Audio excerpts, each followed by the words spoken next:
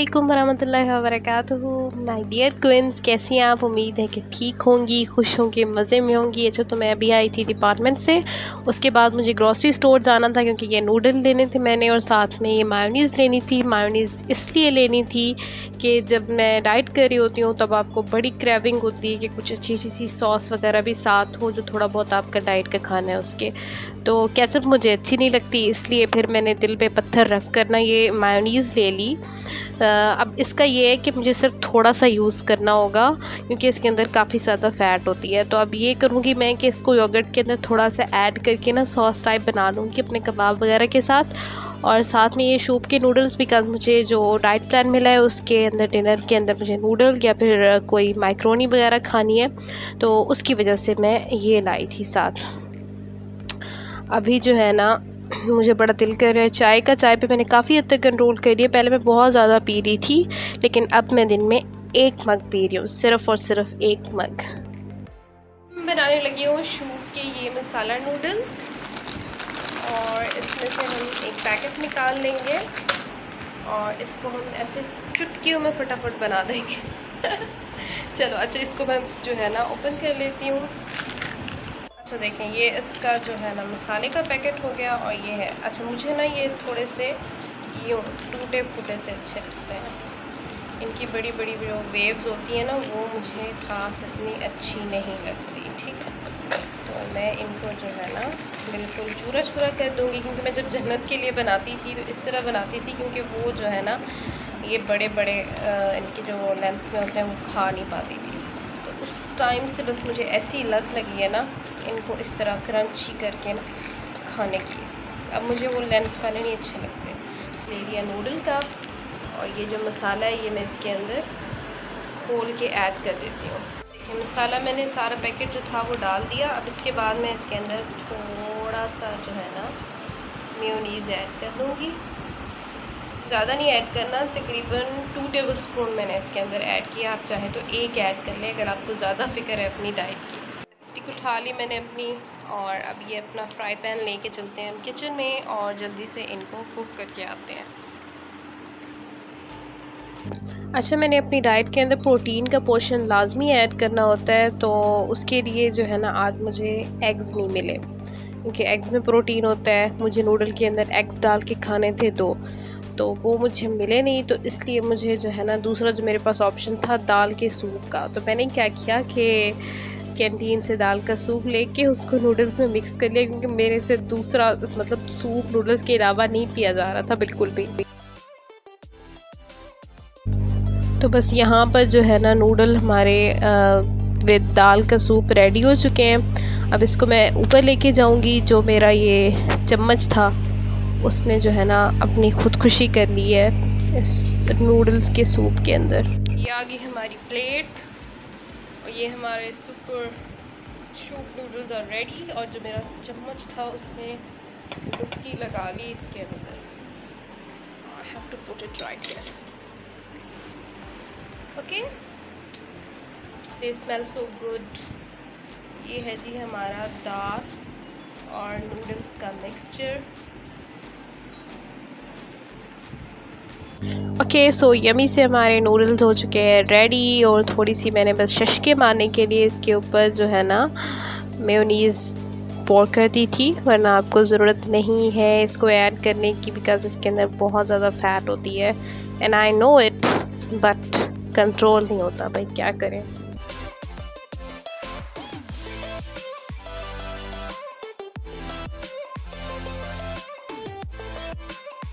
और जी यहाँ पर जो है ना मेरी आ, ग्रीन टी रेडी हो चुकी है। ग्रीन टी मैं यूज़ करती हूँ टापाल की जो हमारे पास लेवन फ्लेवर के अंदर होती है वही। बिकॉज़ इसकी खुशबू बहुत अच्छी होती है और दूसरा फ़ैट लूज़ करने के लिए और फैट को कट करने के लिए लेमन बहुत हेल्प करता है।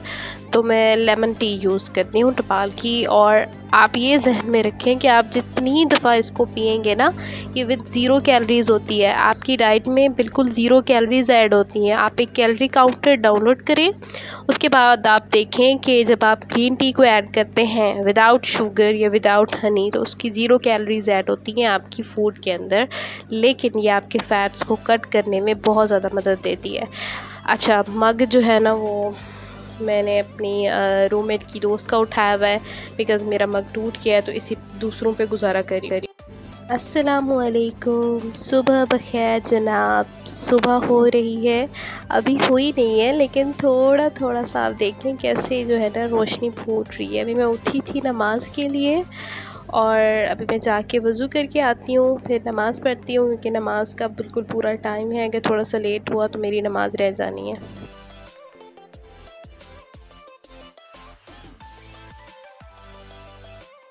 ये देखिए, मैं अभी नमाज़ पढ़ के उठी हूँ कि इतनी ज़्यादा लाइटिंग हो गई है, इतनी रोशनी हो गई है और बहुत खूबसूरत नज़र आ रहा है मंज़र अच्छा मैंने, मैं थोड़ा सा वेट कर सकती अगर तो थोड़ा सा कर लेती ताकि आपको उभरता हुआ सूरज भी दिखा पाती, लेकिन अभी जो है ना, मुझे बड़ी ज़ोर वाली नींद आई हुई है।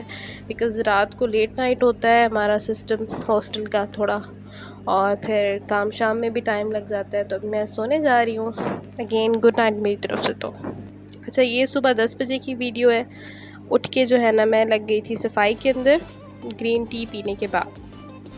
क्योंकि इतनी ज़्यादा मिट्टी आ जाती है ट्रैफ़िक की वजह से और सब चीज़ों की वजह से। अच्छा फिर मैं पहुँची नीचे तो ये मैंने सोचा आपको दिखा लेती हूँ कि किस तरह का खाना होता है। हमारे मेस में आज बनी थी चिकन कौरमा, आलू गोभी और साथ में ये राइस। इस टाइम पे मैं गई, टोटल ख़त्म हो चुके थे, लेकिन याद रखें, मैं लेने नहीं गई थी, मैं चाय लेने गई थी। जो मैंने पहले चाय पी है वीडियो में, वो एक दिन पहले की थी, अभी दूसरा दिन है और ये हॉस्टल की कड़क चाय अच्छा ये है जी टीवी हाल हमारे हॉस्टल का। आप जब फ्री हों या फिर आप थोड़ा सा चिल आउट करना चाहें तो यहाँ कर आप चिल हो सकते हैं। मैं थोड़ा सा चिल करती हूँ। आप ये खूबसूरत से सीन्स एंजॉय करें। इनसे लुफानंदोज़ हूँ मेरे टीवी हॉल के लिए।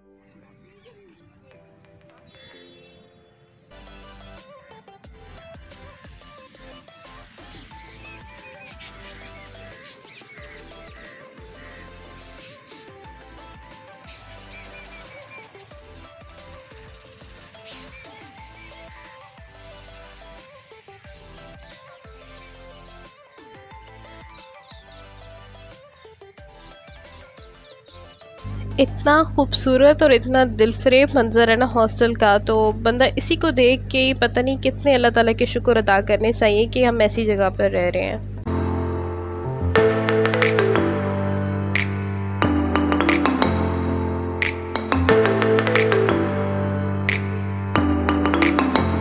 और बस यही सोच के मैंने सोचा कि आपको भी दिखाती हूँ किस तरह के प्यारे प्यारे से पौधे और फ्रूट्स वाले पौधे और फल जो है ना और फूल, कई किस्म की चीज़ें यहाँ पर मौजूद हैं।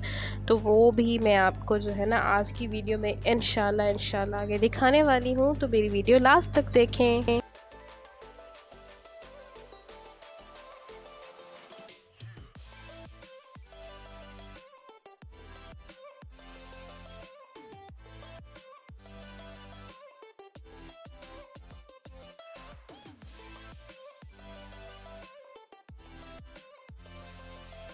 ये देखें, ये है जनाब जी माल्टे का पौधा इसके ऊपर काफ़ी सारे जो है ना माल्टे लगे हुए हैं प्यारे प्यारे से, जो आई थिंक अभी पके तो नहीं है, लेकिन ये बहुत क्यूट लग रहे हैं ग्रीन ग्रीन से। आई थिंक अभी ये ऑरेंज होंगे तो फिर इसका मतलब होगा कि ये पक चुके हैं। लेकिन आप देखिए पूरे के पूरे पौधे पे लगे हुए हैं और बहुत प्यारे लग रहे हैं ये। माशाल्लाह सुबहान अल्लाह। अल्लाह ताला की कुदरत है ये। उस दिन मैं तोड़ के भी आई थी, मैंने टेस्ट किया था, वो काफ़ी ज़्यादा खट्टे थे, लेकिन इनको देख के ना बड़ा एक पुरसकून सा वो होता है इंसान को ना। आगे अनार भी है, मैं आपको अनार भी दिखाती हूँ।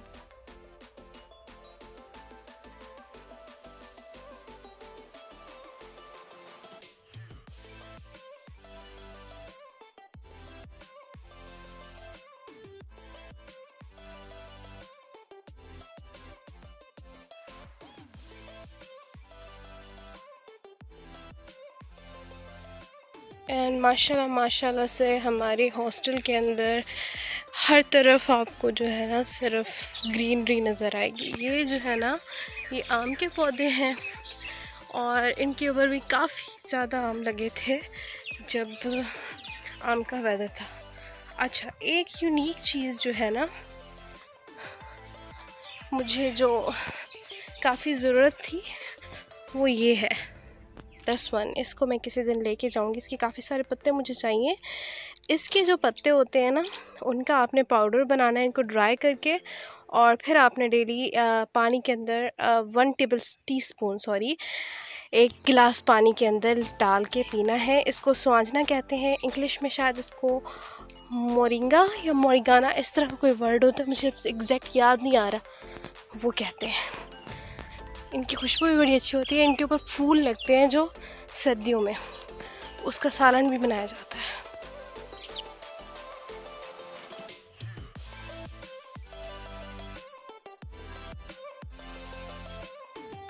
ये इतनी प्यारे बर्ड्स हैं ना, रात को जब मैं वॉक करने आती हूँ तो ये फिर रहे होते हैं अंधेरे में। मैं इनको छेड़ के भगा देती हूँ, उड़ा देती हूँ, ये भागते रहते हैं।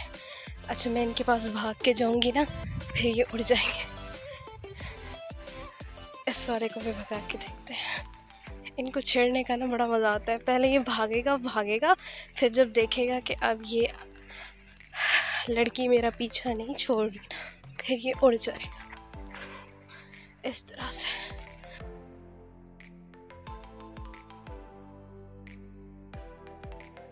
गलती से मैं आ गई थी चोटियों की ट्रैक पर और देखी। कितनी खूबसूरती से इन्होंने ट्रैक बनाया हुआ है अपना। ये है जी, इसको हमारी लैंग्वेज में तो बोलते हैं टाली, ठीक है ना? टाली का दरख्त, ठीक है? मुझे नहीं पता, इसको शायद उर्दू में शीशम कहते हैं, जो भी कहते हैं, बड़ा ही खूबसूरत सा दरख्त होता है, सायादार। जब हम बचपन में छोटे हुआ करते थे ना, ये जो डंडियाँ हैं, इनसे बहुत खेलते थे। आई थिंक ये इसका बीज होता है। ओहो, गिर गया। एक और मैं तोड़ के दिखाती हूँ। हमारे घर में ये दरख्त था और हम लोग जो है ना, सारे कज़न्स मिल के जब खेलते थे तो हमारा खाना भी इन्हीं से बनता था। हमारी जो ज्वेलरी होती थी, जो हमारे खेल में फ़ंक्शन वगैरह हो रहे होते थे तो उनकी ज्वेलरी ज्वेलरी भी इसी चीज़ से बनाया करते थे। इस इसको हमारी लैंग्वेज में टाली बोलते हैं। मेरे ख्याल से उर्दू में तो शीशम कहते हैं। मुझे सही कंफर्म नहीं है। अगर किसी को कंफर्म है तो मुझे बता दें। इस अनार के पौधे की तलाश में वहाँ से यहाँ तक ये पूरा चक्कर काट के आई मुझे याद नहीं आ रहा था किस साइड में मैंने देखा था इसके खूबसूरत से अनार थे। पौधे तो काफ़ी थे, लेकिन किसी पे अनार नहीं नज़र आ रहा था। ये देखें। इतना प्यारा वाइट अनार। बहुत ही खूबसूरत। अभी ये बड़े होंगे शायद। अभी ये पके नहीं है उससे मैं लेके गई थी तो ये भी हल्के हल्के से मीठे थे, लेकिन पूरे तरीके से अभी नहीं तैयार हो। और ये रहा जी, अनार का फूल। देख सकते हैं आप।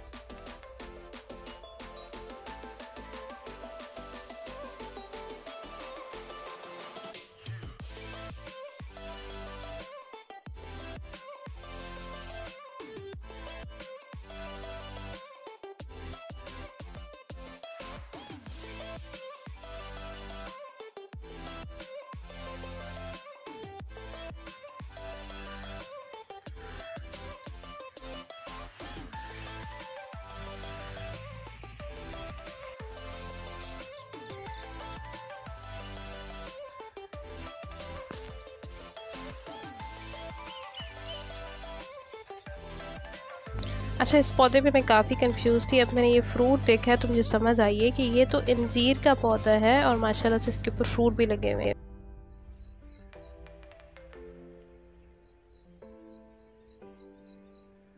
तो ये था मेरी फुल हॉस्टल का टूर और हॉस्टल का टूर हो और हमारी हॉस्टल की कैटोज़ ना नज़र आए, ऐसा तो हो नहीं सकता। उसके बाद मैं खाना बना रही थी और लाइट भी चली गई तो बस आज दिन की यही रूटीन रही। खाने में वही नूडल्स थे because one packet is remaining high in calories है, लेकिन शह चेंज कर लूँगी। अपना ख्याल रखिएगा। अल्लाह हाफिज़।